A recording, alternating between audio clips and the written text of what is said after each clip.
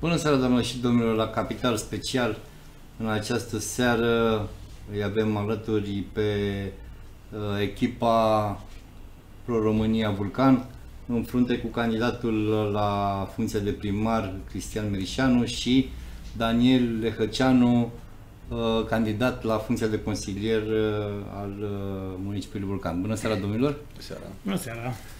Uh, Iată că alegerile se apropie cu pași repezi, unde acum o lună de zile era cu semnul întrebării se vor ține, nu se vor ține, uite că acum se țin, totul rămâne bătut în cuie, în ciuda pandemiei, în ciuda tuturor problemelor uh, sanitare, medicale, de, de acest gen, uh, alegerile, alegerile locale se vor ține la termen la 27 septembrie, uh, peste, deci doar peste 20 și ceva de zile. Domnilor, ca să intru direct în, în subiect, domnule Merișanu, intru cu o problemă care a apărut aseară în toate localitățile Văijiului, dar acum noastră o să vă exprimați doar pentru vulcan. A venit un miros puternic de gaze și toată lumea s-a alarmat, toți s-au întrebat de unde vine acest miros de gaze, uh, distrigazul sau nu știu cine se ocupă. Da, au, au asistat gazele, multă lume a sunat chiar la 1-2 și uh, sau uh, lumea s-a speriat. Despre ce a fost vorba? Da, aveți dreptate. Încă de, de la orele prânzului, eu cel puțin am primit foarte multe telefoane de la locuitorii municipiului Vulcan. Uh, lumea foarte agitată, inclusiv vecinii mei de bloc, uh, pentru că mirosea foarte tare a gaz, așa cum ne exprimăm noi. Bineînțeles că am intrat în panică toată lumea, chiar și eu personal am acasă un, un băiat și o bunică foarte în vârstă, Uh, bineînțeles că fiecare s-a gândit, poate de la el, de la apartament, poate de la un vecin. Lumea s-a panicat foarte tare, unii au ieșit chiar în fața blocului, uh, s-au încercat să se sune, unii au reușit să ia legătura cu furnizorul, cu Delgaz, alții n-au reușit pentru că tot felul de roboți până ajungi la, la un operator durează foarte mult și uh, vreau să vă spun că mă bucur că ați deschis discuția despre, despre această problemă pentru că foarte mulți cetățeni au sunat astăzi, a doua zi de la acest eveniment, fiind foarte, foarte revoltați de ceea ce se întâmplă în municipiul Vulcan. Am urmărit puțin uh, ceea ce s-a întâmplat în Valea Jiului. Problemele importante am înțeles că au fost la Petroșan și la Vulcan. Am văzut că domnul primar Riții a ieșit uh, aseară, în timp real, a ieșit uh, uh, la un post de televiziune sau un mediu online, au fost chemați pompierii la Petroșani, s-a explicat uh, cetățenilor ceea ce, ce se întâmplă, au fost liniștiți și probabil se vor lua măsurile, măsurile necesare pentru a reglementa această problemă. În schimb, la Vulcan, de ce sunt supărat, de ce sunt revoltat? Pentru că tot mai mult Vulcanul se pare că e un oraș fără stăpân, ca un sat fără câini, să vă spun așa. Nimeni nu ia legătura cu nimeni, oamenii nu știu ce să facă, uh, dacă au ajuns să mă pe mine care nu mai sunt în administrație și vă spun ce s-a întâmplat. Faptul că ei au băgat mercaptan, am înțeles, mai mult, uh, o doză mai mare decât cea care ar fi trebuit să o bage în rețeaua de gaz, a făcut ca în absolut toate scările sau majoritatea scărilor de bloc să fie acel miros de mercaptan. Noi spunem că miroase a gaz, că asta e exprimarea, exprimarea uh, populară. Păi ce s-a întâmplat? Lumea a intrat în panică, au pornit alarmele de la gaz, s-au declanșat detectoarele de gaz. Nimeni nu a informat pe nimeni și lucrul acesta pe mine mă revoltă, pentru că ei dacă știau că fac aceste probe, puteau să anunțe cetățenii municipiului Vulcan, Valea Jiului, nu numai Vulcanul, că uh, problema a fost peste tot. Trebuia să ne anunțe prin intermediul administrației publice. M-am uitat pe uh, comunicarea primăriei municipiului Vulcan. Nu apare nimic niciunde, adică un avertisment că mâine va avea loc uh, această, această încercare a instalației de gaz. Ba mai mult, cei care au apucat și au sunat la intervenții, la furnizorul de gaz, au fost, uh, au fost nevoiți să rămână fără gaz. Până, au fost debranșați. Au fost debranșați, pentru că acolo unde au venit echipele, ei, ei n-au mai stat să verifice, cel puțin din ce spun cetățenii. Eu nu știu că nu am fost în toate scările, dar am vorbit chiar înainte de emisiune cu cineva și îmi spunea că pentru că au sunat, au venit, le-au vorbit și foarte urât, spunând că ei sunt de la 6 dimineața pe teren, că vin din Deva și că nu stau la discuție și le-au închis gazul la oameni. Deci în acest moment în municipiul Vulcan sunt foarte multe scări de bloc în care gazul este oprit Oamenii nu știu ce să facă, li s-au dat niște numere de telefon, niște adrese de la niște firme din județul Hunedoara. Aceste firme uh, agreate, probabil, înțeleg eu, de uh, furnizorul de gaz, unde oamenii trebuie să ia legătura cu ei, să plătească. Cineva spunea că le-ar fi cerut câte 300 de lei de apartament să vină să le verifice, iar uh, furnizorul susține că nu dă drumul la gaz până nu uh, au această verificare, pentru că oamenii au sunat, uh, fiind această problemă ieri în tot orașul, în toată Valea. Acum eu nu pot să știu dacă acești oameni au într-adevăr o problemă în scările lor, pentru că la unii s-a spus că poate trebuie înlocuită țeava de la intrarea blocului până, până în scară. Acum eu nu știu cum, au, cum este contractul de furnizare cu, cu gazul, dar știu că de la punctul de consum, de la contor în casă, ar trebui să fie treaba cetățenilor. Până la contor ar trebui să fie treaba furnizorului, adică am un contract cu tine, îmi citești contorul, ă, nouă ne oferi gazul până în contorul, contorul de gaz. Nu văd de ce oamenii din Vulcan sunt nevoiți acum să, să umble pe la Deva, să caute firme, au copii mici, îmi spunea, ă, n-au putut să gătească, Vă dați seama că sunt niște condiții, un confort cu care ne-am obișnuit cu toții și e foarte greu să renunți, ca și cum ai sta fără curent sau fără apă. Deci, oamenii, uh, totuși, suntem în, în, în anul 2020 și une, fără unele lucruri nu poți trăi. Uh, de ce vă spun toate astea? Pentru că noi suntem și într-o campanie electorală acum, iar eu vizez funcția de primar. Iar primarul este garantul locuitorilor. Eu înțeleg că primarul municipiului Vulcan, domnul Barbu, care este acum, care ține locul. Primarul pentru că domnul Ile, uh, primarul în exercițiu, să-i spunem așa, acest viceprimar, ar fi trebuit să comunice, în primul rând, cu, cu firma, în al doilea rând, cu cetățenii, uh, să stingem această panică. Cine plătește pentru panica oamenilor și pentru această greșeală între ghilimele, pentru că încă nu avem toate datele, cel puțin eu din poziția mea, nefiind în administrație, nu are să culeg toate datele, am încercat să dau câteva telefoane, am urmărit și ce spunea domnul primar Riții, uh, care pot spune că a avut o ieșire pertinentă și oportună aseară, uh, liniștind oamenii, oamenii din Petroșani. Uh, cred că ar trebui să aibă un service furnizorul și imediat să intervină să remedieze problema, chiar dacă poate ulterior oamenii ar trebui să plătească ceva pentru această intervenție. Dar nu lăsăm oamenii fără gaz, sunt o vulcan, sau mă rog, o parte din vulcan fără, fără gaz și punem pe oameni să-și caute ce? Ce să caute ei acum? Să-și caute o firmă, poate unul nu e, nu e acasă, poate unii sunt plecați, uh, poate e copilul singur acasă, ce firmă să caute? Dacă băiatul meu era singur acasă, eram plecat într-o delegație, ce firmă să caute băiatul meu acum și unde să umble el ca să, să rezolve această problemă? Eu zic că autoritățile, că am mai zis și în altă emisiune, comunicarea, informarea trebuie să fie uh, oportună la momentul, la momentul oportun, să fie pertinentă și uh, cel mai important să fie reală informația, pentru că nici în acest moment nu se știe uh, prea bine. A fost prea mult mercaptan, uh, într-adevăr uh, există o problemă în acele scări, dar dacă ar fi o problemă în acele scări, ar trebui să fie o problemă în toată Valea Jiului, unde a mirosit a gaz, că pe undeva a ieșit uh, această, această substanță mirositoare. Sau numai la cei care au reclamat că miroase, numai la ei este o defecțiune și trebuie înlocuite țevile.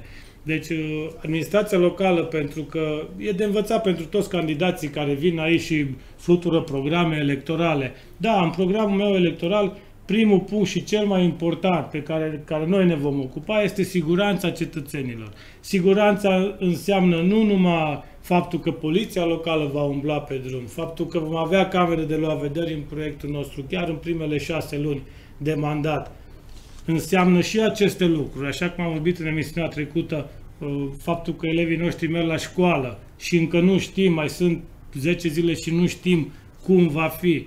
Siguranță înseamnă și ceea ce s-a întâmplat ieri în Valea Jiului, pentru că uh, până la urmă primarul întotdeauna răspunde mai mult sau mai puțin de ceea ce se întâmplă în localitate. Dacă primarul ar fi făcut o greșeală, ar fi fost tras imediat la răspundere. În acest moment, cel puțin eu cred că nimeni n-a fost tras la răspundere și cei care plătesc până la urmă sunt uh, cetățenii din Vulcan.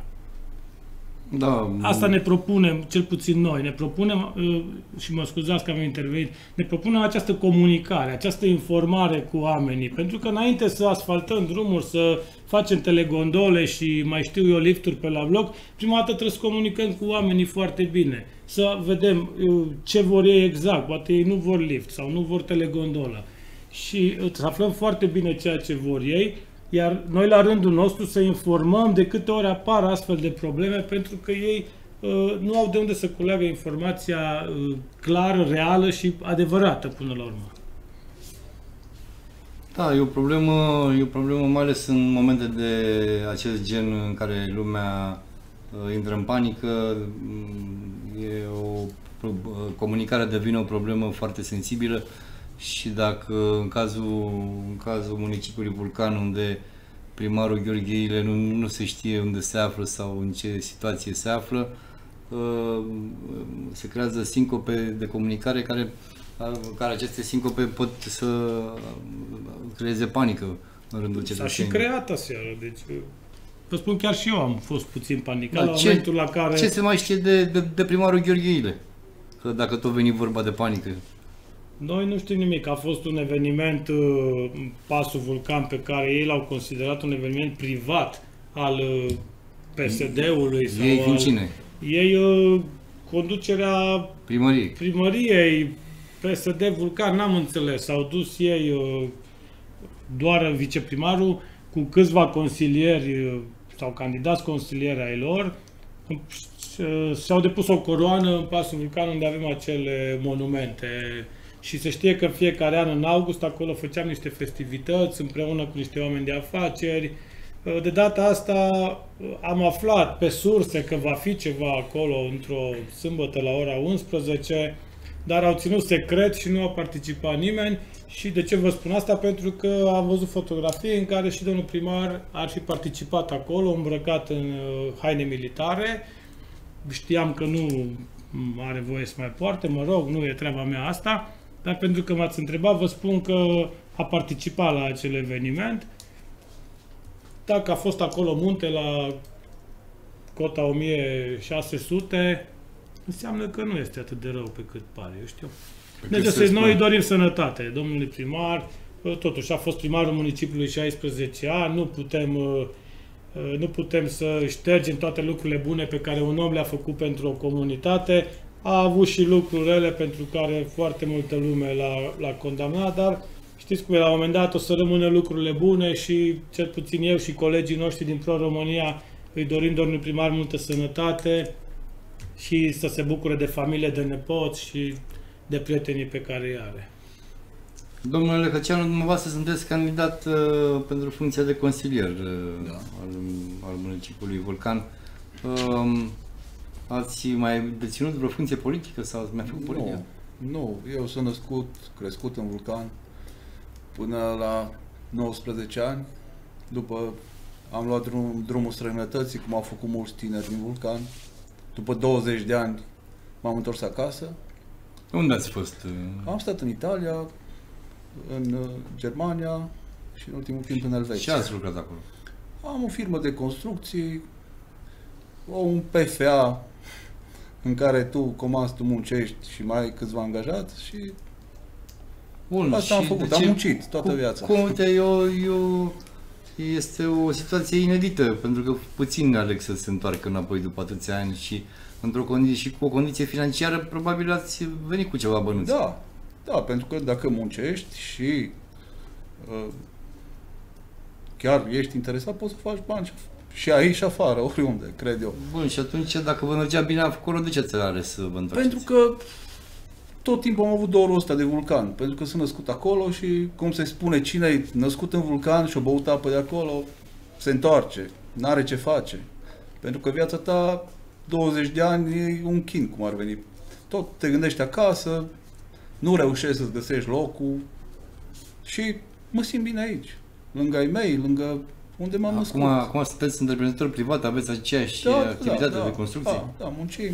Acum muncesc în vulcan, în împrejurim. Ați mai făcut politică? Nu, niciodată. Acesta este... Ce v-a determinat să optați pentru pro-România?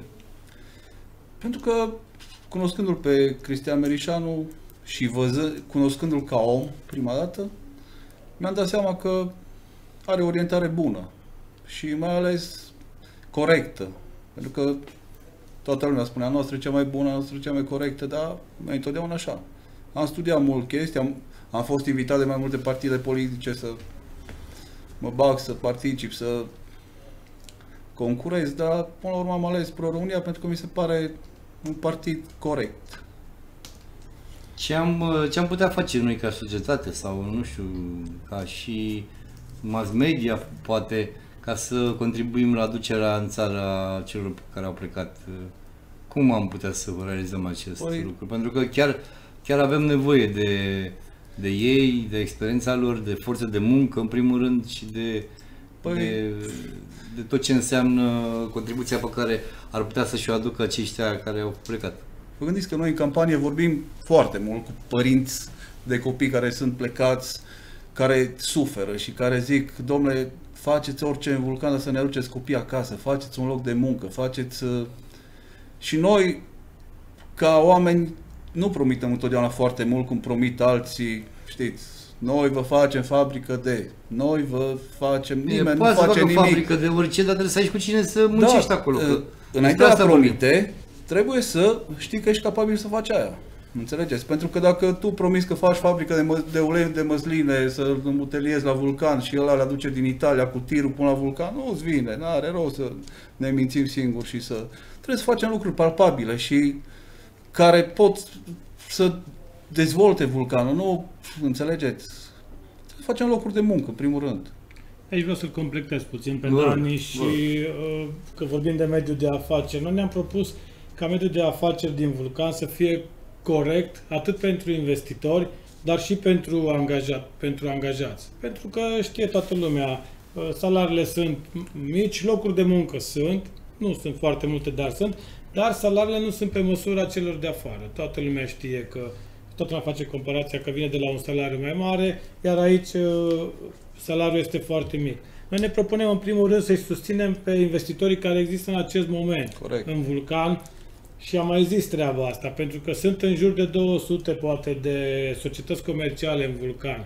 Dacă noi, prin dialog, așa cum am zis, prin comunicare, prin informare, aflăm fiecare ce nevoie are și încercăm să-i susținem uh, ca administrație locală, dacă noi reușim ca acești 200 de oameni, de, 200 de societăți comerciale, fiecare să creeze câte un loc de muncă, nu mai multe și nu într-un an, în doi ani, nu știu, fiecare să-l ajutăm. El are 10 locuri de muncă. Dacă noi cumva, prin facilități, printr-o extindere a afacerii îl ajutăm să angajeze un om, toate cele 200 de societăți ar face 200 de locuri de muncă. De Și oameni aici- care vin acasă.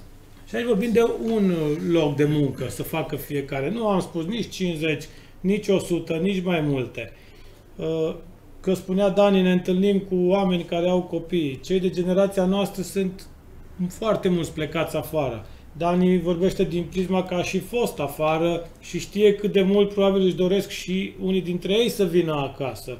Uh, E clar că ne vom implica și vom uh, vom căuta căile să, să creăm aceste locuri de muncă, dar și bine plătite totodată. Pentru că nu ne interesează uh, să vină cineva să facă 100 de locuri de muncă cu minimul pe economie, uh, în condițiile în care nimeni nu mai vrea să muncească sau foarte puțin vor să muncească pe minim pe economie.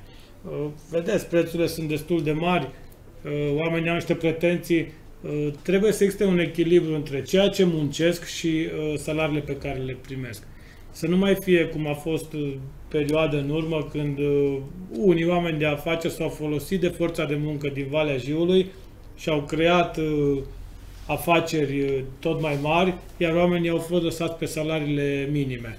Salariul minim care era și foarte mic o bună perioadă. Astfel s-a ajuns ca oamenii să plece afară pentru salarii mai mari, iar angajatorii de multe ori se plâng acum că nu au uh, cu cine lucra. Trebuie găsit echilibru acesta între uh, salariul pe care poate să-l ofere și angajatorul, pentru că trebuie să fim corect și față de angajator. Pentru că el spune, îți dau 2000 de lei, cu tine trebuie să produc 3000 de lei, că altfel, dacă produc 1000, nu, nu sunt rentabil. Dacă produc 10.000 cu tine, poate că va ajunge la situația să-i dea 4.000 sau 5.000 de lei.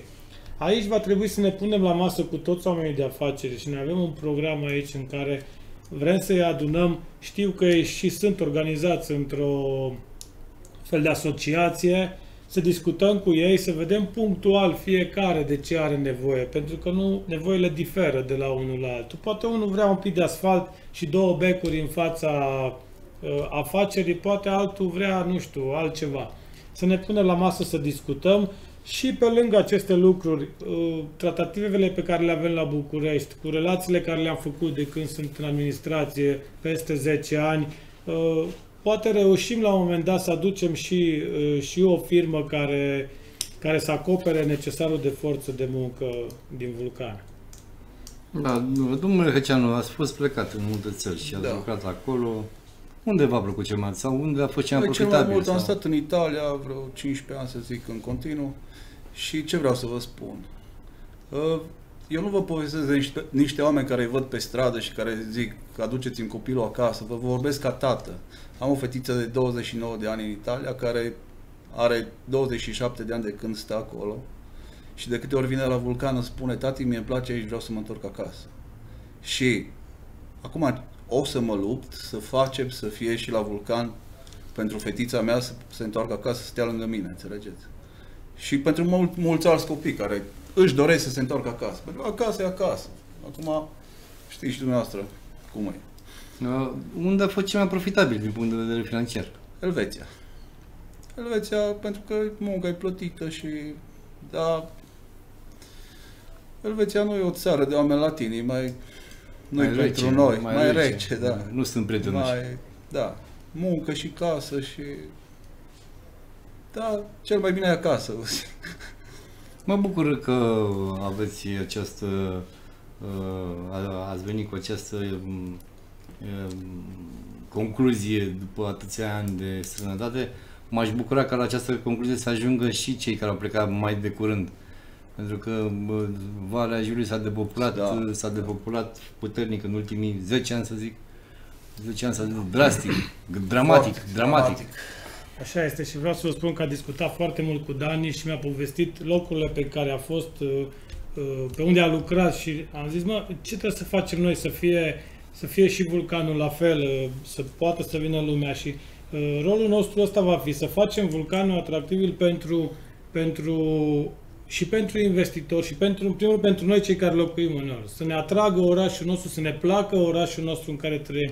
Dacă nu o să ne placă, atunci o să le placă și turiștilor, de exemplu, dacă vorbim despre un oraș pe care noi îl vedem un municipiu turistic în viitor, uh, deci să fie atractiv și pentru turiști și pentru investitori, iată că vorbim despre ei, pentru uh, ei văd vulcan și văd ceea ce este acum. Trebuie să ne gândim la câteva idei, să îl face să uh, se atragă pe toți aceștia, iar după aceea, exact cum s-a vorbit, pasul următor, să atragă oamenii de afară să vină către, către vulcan. Pentru că foarte mulți plecați din vulcan afară au început să aibă puțină posibilitate, financiară vorbesc. Și fiecare, am mai discutat cu câțiva dintre ei și mă întrebau că ar vrea să vină să deschidă ceva în vulcan. Ce ar putea ei să deschidă? Ce ar merge? Acum, noi nu vă ascundem faptul că în programul nostru, unul din puncte este declararea municipiului Vulcan stațiune de interes local, stațiune turistică. Deci acest lucru se va întâmpla în maxim Și șase asta luni de ce când ajungem. presupune din punct de vedere economic? Asta presupune din punct de vedere economic că vom putea accesa anumite fonduri pe axa care se va deschide, fonduri care sunt pentru stațiuni. În momentul acesta sunt, să știți că nu sunt așa de multe. În țară sunt în jur de vreo 20 de stațiuni, uh, mai puțin de jumate de interes național și câteva de interes local se cheamă. În momentul în care a intrat și la intrare scrie bine ați venit în, munici- în uh, stațiunea Vulcan, liniuță pasul Vulcan, și ai creat câteva obiective turistice, câteva atracții, pentru că Vulcan are foarte multe atracții. Noi am încercat să le identificăm și vom vrea să le punem în valoare pe fiecare dintre acestea, astfel încât omul când vine la vulcan să fie, uh, cum să zic, să, să vrea neapărat să viziteze cele 5, 6, 8, noi am identificat mult mai multe puncte. uh, cu zecile, poate unele le vom crea noi până la vom crea povești, vom crea istorie, pentru că există în vulcan se știe drumul Să poștalioanelor, Daci și istoria romani. asta, asta putem să o constatăm. Dar, să constatăm, da, dar, dreptate. dar, dar la ce, la ce, v-am întrebat, la ce bă, părți ale istoriei vulcanului vă referați? Drumul La- poștalionelor, drumul... Păi se știe foarte clar că drumul, drumul poștalionilor, dacii și romanii au, au trecut, venind de la Gorj, cum este acum, și au mers spre Sarmi Zegetusa. Uh, Mihai Viteazu se pare că s-a odihnit în pasul vulcan. Deci sunt uh, foarte multe lucruri pe care noi numai trebuie să le punem în evidență, așa cum a spus. Nu trebuie să le creăm noi, că istoria există, istoria vulcanului. Trebuie doar să punem în evidență aceste puncte și uh, deja să știți, foarte multă lume vine către vulcan. A, Pistele acelea de biciclete pe, uh, prin oraș sau trasele de biciclete montane. Am văzut într-o zi o foarte mare aglomerație la Telegondoră cu biciclete, urcau pentru acel traseu montan care l-am făcut când eram la primărie și de care m-am ocupat personal, uh, traseu montan de biciclete. Uh, avem împreună cu niște oameni de afaceri un plan care să unim toată Valea Jiului prin uh, trasee de biciclete. Deja în Straja există vreo 3 sau 4, poate și mai multe, pe care împreună cu domnul Emil Părău le-am făcut acolo. Există un vulcan, vrem să facem o unire a lor prin, uh, prin munte, prin Trepasul Vulcan și Straja, pentru că aceste trasee există. Ele trebuie puse numai în evidență, trebuie inscripționate și, uh, bineînțeles, continuarea până la Petroșani și chiar ieșirea către Bănița. Să știți că vom, putem atrage uh, sub multe forme oamenii să vină către vulcan. Nu trebuie să-i face să vină către vulcan, să-și cheltuie banii în vulcan, să mănânce în vulcan, încet, încet să doarmă uh, la vulcan. Și așa vom face probabil făcând aceste lucruri. Să dormim la vulcan, probabil la cort undeva, că nu știu, există vreun hotel acolo? Să știți că acesta a fost, pentru că nu vă ascund, acesta a fost uh, punctul pentru care nu am reușit să fac stațiune cât am fost viceprimar. M-am ocupat personal și am vrut să fac stațiune din municipiul Vulcan. Singura condiție pe care nu o îndeplineam erau 100 de locuri de cazare. Este una din condiții să ai 100 de locuri de cazare. La momentul uh, la care ne aflăm acum, deja cred că am reușit acest punct, pentru că au apărut câteva pensiuni, Uh, s-a dezvoltat Căprișoara, deja cu multe locuri de cazare. Sunt pensiuni, nu știu dacă pot să le dau numele Da, aici. sau hotel nu există în Uh, municipiul un Vulcan. hotel nu există, motelul care este în centrul orașului, există cabana de sus de la Braz cu toată zona de agrement și aceste zone de agrement trebuie să le punem în valoare. Cum e zona de agrement de la Braz. Toată lumea vine în vulcan, urcă acolo. Drumul e praf de jos până, până ajunge acolo. Cu 500 de metri de drum. Înțelegeți? Deci sunt lucruri care noi trebuie, trebuie să creăm atât Bun, da, infrastructura bun, cât dar în și... cei 16 ani noastre, noastre sunt, ați fost viceprimarul uh, uh, vulcanului timp de două mandate? Două mandate aproape. Două, aproape două trei. mandate, fără ceva. Dar uh, primarul Ile a fost uh, patru mandate. Ce a făcut primarul Ile? Că aia nu e drumul, nu e Ordonatorul- făcut, ordonatorul de hotelul nu credite, există. ordonatorul de credite, se știe, este întotdeauna primarul. Ok, Iar acum da. nu trebuie să ascundem că se uită vulcanenii la, la noi și mă uit în ochii lor și le spun a avut întotdeauna uh, ceva să zic cu oamenii de afaceri. Nu s-au înțeles ei, el cu ei și ei cu primarul. Tocmai de asta ne vrem cum ajungem în primărie să... Probabil, probabil Să avea creăm niște această pretenții relație. nefirești sau despre Nu ce. pot să spun pentru că nu știu, nu am participat la întâlniri, dar acolo la Braz, ca să nu vorbim de altceva, an de an la ND mergeam și peteceam drumul ăla, dacă, exact cum spuneam, eu, dacă făceam câte 10 metri, îl terminam în câțiva ani de, de mandat. Nu vrea niciodată, nu faceți cum zic eu, eu comand, eu, Bun, banii sunt la atunci, mine. haide, ok, banii au fost la dumneavoastră. Haideți să, să vă întreb, în cele aproape două mandate pe care le-ați avut ca viceprimar, uh, care totuși a fost realizarea cea mai importantă pe care, care s-a întâmplat în Vulcan sub, sub bagheta domnului primar Gheorghe Ilă? Care vi se pare totuși că nu-mi dau seama în cei 16 ani să, nu, să n-ai un hotel, să n-ai un hotel, să n-ai niște drumuri, să ai centrul orașului arată într-un hal fără de hal. N-am văzut în, nicăieri în România un asemenea centru de oraș. Și cu ce s-a ocupat primarul Gheorgheile? În Vulcan s-a creat, primarul Gheorgheile a creat acea uh, idee că el le știe pe toate. Uh, la început toată lumea s-a luptat să-și pună ideile, să-și expună ideile, să vină cu programe, dar încet, încet, în acești 16, 16 ani, încet, încet fiecare a început să renunțe, văzând că nu are niciun, uh, nicio finalitate ceea ce își doresc ei, ajungând spre final, acum în ultimul mandat, și vă spun sincer, poate și uh, angajații din primărie, pe care au fost colegii mei și care au înțeles foarte bine și noi colaborăm foarte bine, au ajuns la un moment dat să se plafoneze și să fie doar executanți. Adică ei degeaba vreau să vină cu idei sau să modifice un proiect. Tu faci cum îți spun eu. De multe ori poate nici nu era legal. Faci cum îți spun eu. Se ducea proiectul, se întorcea înapoi pentru că, bineînțeles, nu era corect ceea ce spunea. Dar pentru că așa vrea primarul, ele mergeau într-o anumită linie, se întorceau înapoi. Astfel s-au pierdut foarte multe proiecte pentru Vulcan. Ce s-a, ce a făcut? Care e marea realizare? Probabil acea telegondolă, nu știu, care înainte să ajung eu a fost cu doamna Elena Udrea, nu știm în ce condiții, cum, care au, Au fost. rămas parcă și blocați cu telegondola, nu știu. Au rămas chiar în prima zi, pentru Prima că zi, foarte da. multă lume s-a îngrămădit să urce și s-a creat un dezechilibru. Acum, pentru noi, fiind în anul 2020 și lăsând la o parte ceea ce s-a întâmplat, este foarte bine că avem această telegondolă, pentru că pe lângă ea ne putem, ne putem dezvolta. Și am avut discuții cu oameni de afaceri și pot să spun că la anul, anul ăsta e foarte aproape. Adică, cum să spun, 12 luni de la mandat, ca să pun niște termene, pentru că fiecare spune ce va face, dar nu spune când. În 12 luni de la mandat, noi sperăm să avem în Pasul Vulcan patru pârți deschise, dintre care una nocturnă uh, și una pentru începători. Deci aceste lucruri se pot face foarte ușor, la fel cum acela preschi care este acolo și care îl are în administrare cineva și mi-a promis că îl va deschide imediat cum va veni sezonul.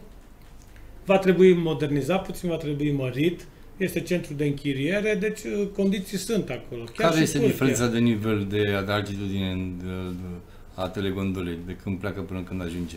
În jur de 500 de metri. Deci nu e mare. Nu este mare. Pe viitor poate vom reuși să facem chiar o pârtie de sus până jos să se urce cu telegondola, exact cum fel cei, fac cei care vin uh, la acea cupă mondială de longboard, care mm, o să ziceți că mă laud dacă o să zic că este tot meritul meu, pentru că eu am luat legătura cu acei băieți și le-am arătat toate condițiile pentru că ei veniseră prima dată în straja, după care au văzut că îi pot comunica foarte ușor cu mine și am creat condiții, am ajutat uh, și pârtia au avantajat pentru că drumul ajunge la baza gondolei, spre deosebire de straja unde drumul iasă într-o laterală și uh, așa am reușit să organizăm două ediții ale Cupei Mondiale de longboard și la anul cu siguranță, dacă pandemia ne lasă, vom organiza o a treia, plus că este circuit roșu, cum spun ei, adică de o dificultate mare, se dau puncte multe și la ultima, ultimul campionat mondial am avut din toate continentele. Deci asta cred că e un lucru mare pentru Vulcan, dar noi trebuie să scoatem în evidență toate aceste lucruri. Lumea să știe și cei din alte orașe, și cei din alte județe. Dom'le, au venit din cinci continente, Africa, Australia, a- din America, au fost oameni care au dormit acolo cu noi la cort, au stat cu ei la masă, s-au plimbat prin vulcan, au mâncat în vulcan. Bine Asta că, trebuie bine, să bine că ați le- menționat că au dormit în acord, că chiar, chiar vreau să vă întreb unde i-ați culcat. Să știți că le-am oferit, uh, le-am oferit, am găsit locuri de cazare, dar au vrut să stea toți la un loc, au vrut toți să stea în pasul vulcan și atunci am creat un, uh, un camping uh, rapid uh, la zona de plecare a telegondolei, unde toți au stat la un loc și atunci acolo le-am oferit mâncare tradițională cu firma noastră care era în administrarea primăriei. Uh, sarmale, vișli, mici, uh, tot ce, să le arătăm puțin și ceea ce poate România să ofere.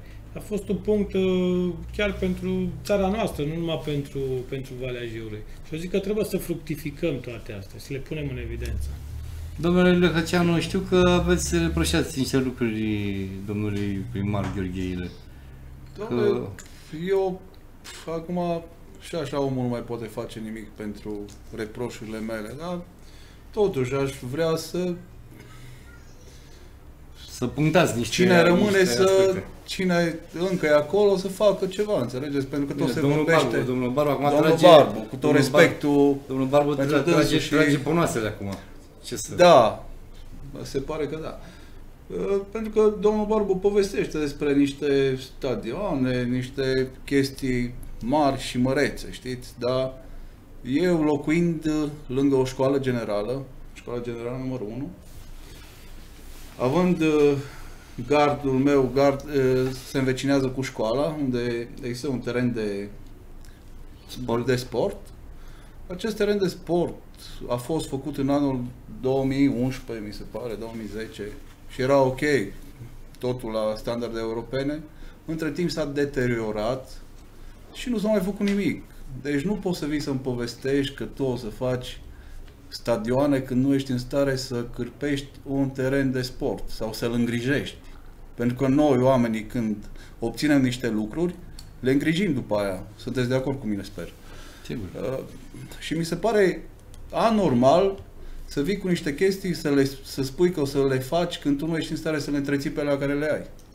Nu critic pe nimeni, nu... Bine, dar acum, critica e domnul- constructivă în Domnul cazul Barbu, ăsta. domnul Barbu, ca să ajungă primar, va trebui să treacă peste domnul Merișanu, care Da, e, e greu. clar. E- și nu o să e- treacă peste domnul Merișanu E pentru complicat, că e complicat. trebuie să ai echipă. Și noi, în chestia asta, avem echipă, știți?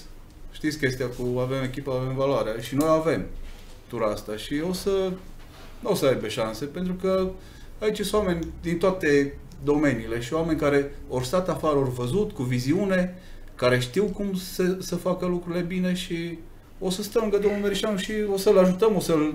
E un om deschis, care A- mă așa, ascultă. cum, așa cum văd eu echipa domnului Merișanu și bine, în frunte cu domnul Merișanu personal, așa cum văd eu situația um, în Vulcan, domnul Merișanu se ia voturi și din stânga și din dreapta eșchiului politic. Da, clar. Uh, acum chiar, uh, chiar mă gândeam, uh, apropo de uh, domnul, domnul Barbu, care este candidatul uh, Partidului Social Democrat, sigur, Partidul Social Democrat este un partid care are mare uh, priză la public în Valea Jiului, pentru că sunt pensionari mineri cu pensii mari, sunt, uh, mă rog, o mulțime de, de oameni care au beneficiat de pe urma măsurilor uh, guvernului PSD, dar uh, uh, sunt și mulți dintre aceia care, mă rog, s-au cam, s-au, s-au, s-au cam O să îndreptat dea. către alte Da, sigur. orizonturi politice și mai mult decât atâta, tineretul, nu știu, ați văzut că uh, tineretul este, se îndreaptă mai mult spre partea de pe- spre partea de centru.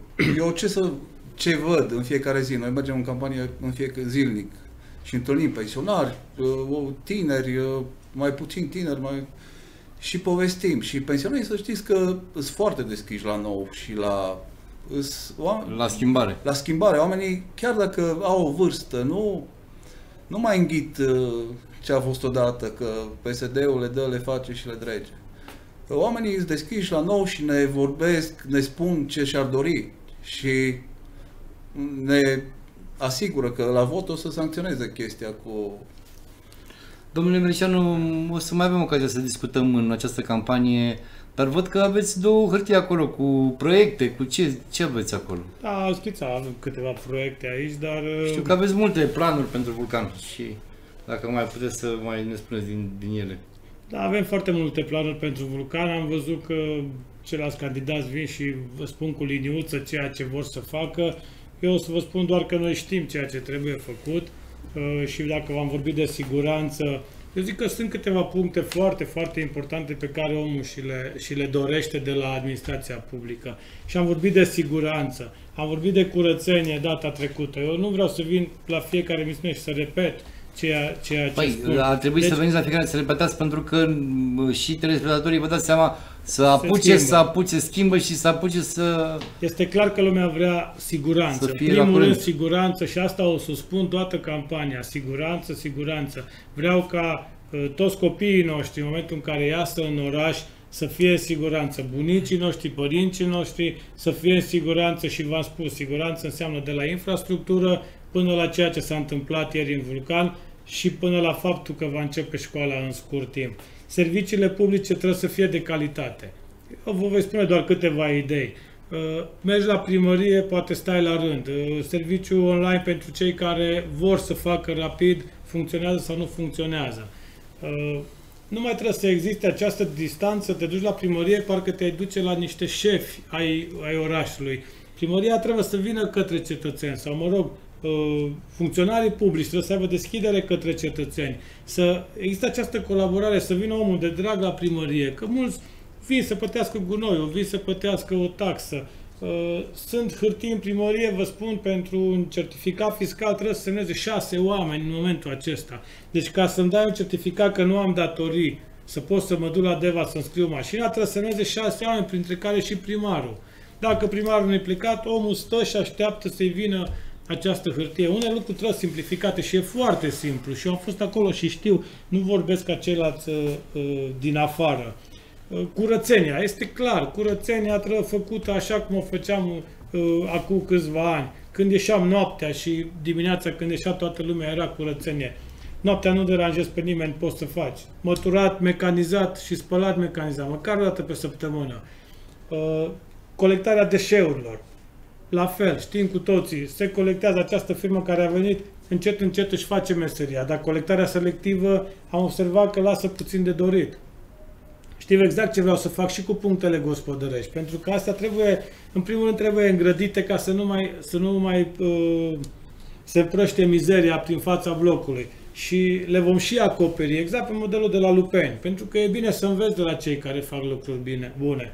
Ei le-au și acoperit și vom câștiga de două ori și vă spun de ce.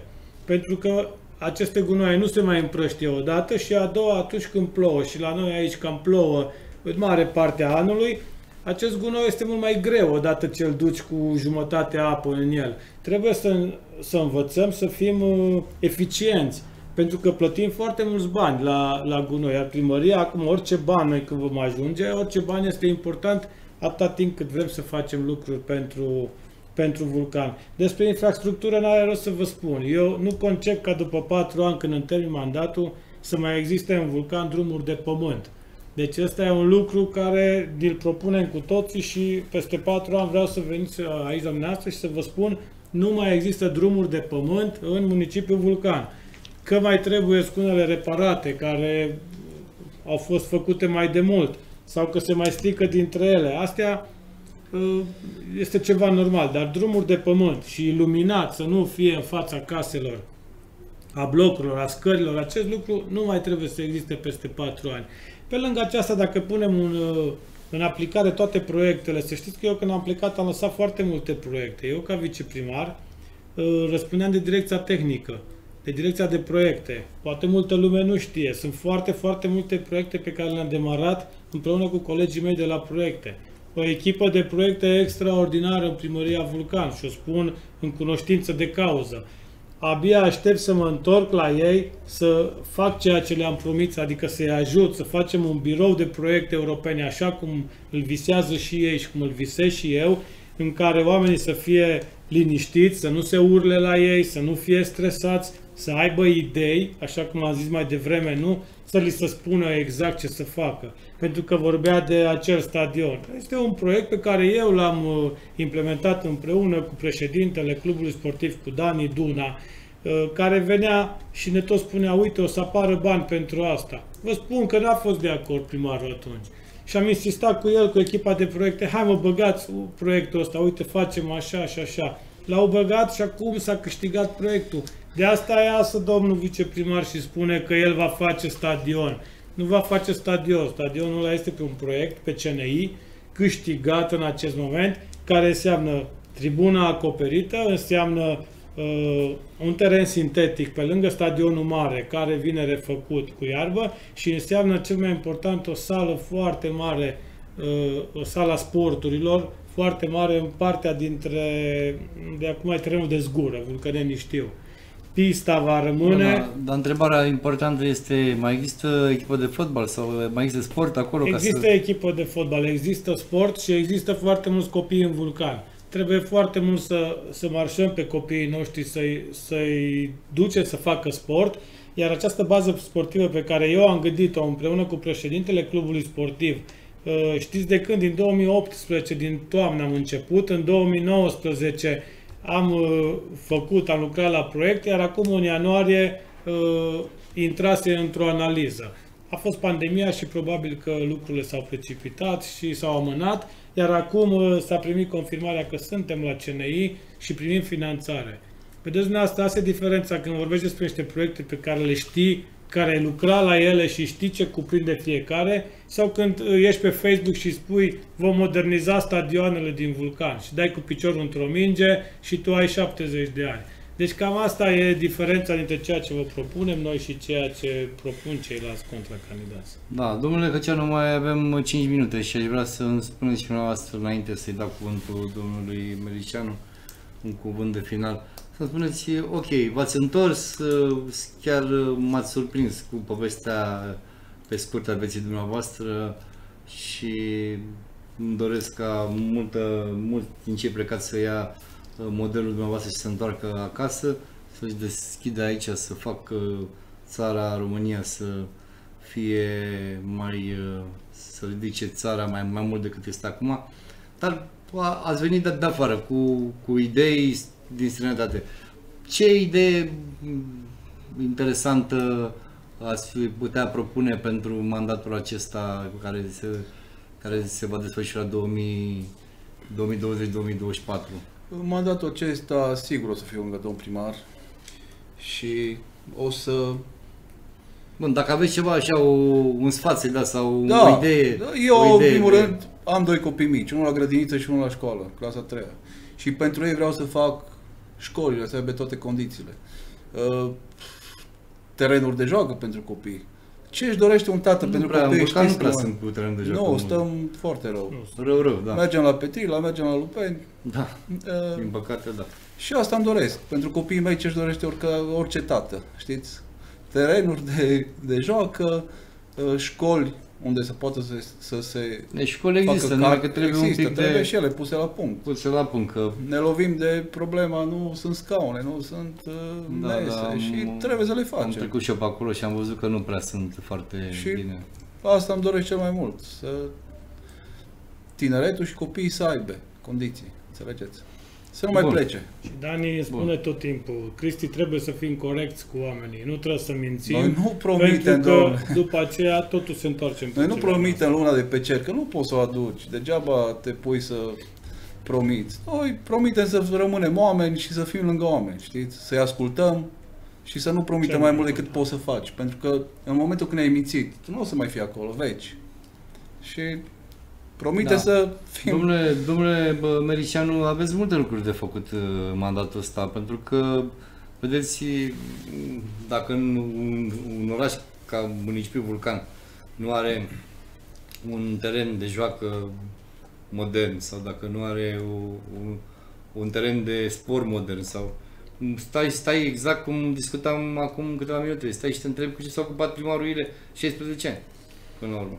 Așa este, aveți dreptate. Uh, Vom încerca să renovăm toate terenurile care sunt pe lângă bloc, pentru că ele există, dar trebuie doar puțină renovare la fiecare ca să fie cât mai aproape de oameni, pentru că nu toți au posibilitatea să plece cu copilul în parcul mare pe care probabil că o să-l dezvoltăm. L-au și început acum a fi în campanie, dar o să-l terminăm noi o să facem o gândire europeană pentru el, nu așa repede, repede, ori pus niște hinți una peste alta, se îngrămădesc copiii acolo, dar în fine, vrem cele de lângă blocuri să fie cât mai bine puse la punct. Sunt patru locuri de joacă foarte mari pe proiecte care vor intra în derulare anul viitor.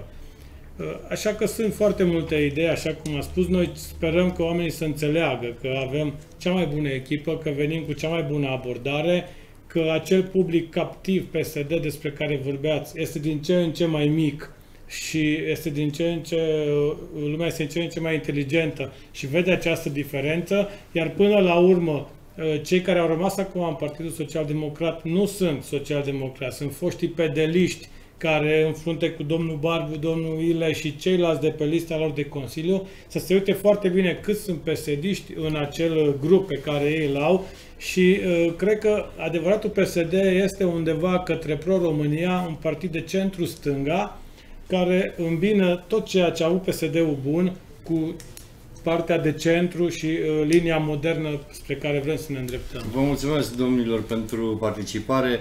Domnul și domnul, asta a fost emisiunea de astăzi. Până la următoarea emisiune, vă doresc numai bine.